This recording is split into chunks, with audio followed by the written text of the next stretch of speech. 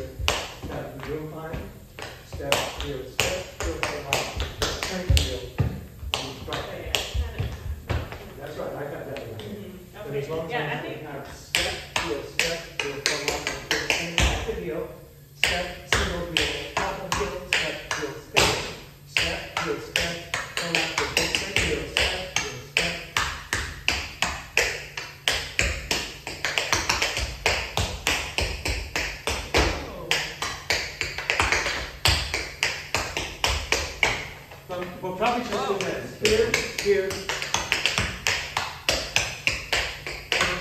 One